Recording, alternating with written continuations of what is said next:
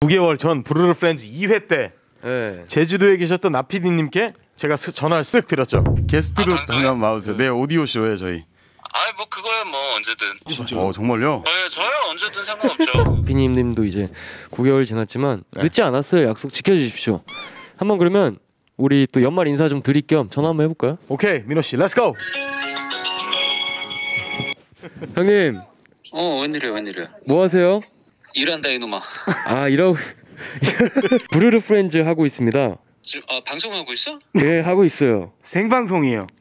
누가 너한테 이놈아라고 좀 전에 옆에 지나가면서 얘기한 것 같은데 나, 나아 이거 어떤 지나간 사람이 얘기한 것 같은데. 어 이거 저기 타고 그쵸, 그쵸. 들어간 것 같네. 네.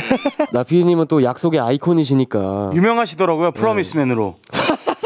제가요. 아 그랬구나. 또 기억 나실진 모르겠는데 약 9개월 전에 부르르 프렌즈 이 라디오 이 오디오 쇼에서 전화를 드려서 이제 나올 수 있냐고 이제 조심스럽게 여쭤봤는데 언제든지라고 하셨거든요. 에, 진짜요 그건.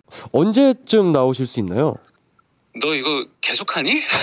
계속해요. 저희 재계약했습니다. 그러면 이렇게 또 또 응해주시고 그럼 대략적인 스케줄 한번 맞춰 보죠. 저 요즘 뭐 한가해요. 비밀 같은 거 내가 쭉 풀어주고 나와야 되겠다. 아 그때는 녹화로 하겠습니다. 음 팬들 절반 정도는 떨어져 나갈 수도 있어. 어 빨리 마무리 인사 드려야겠습니다.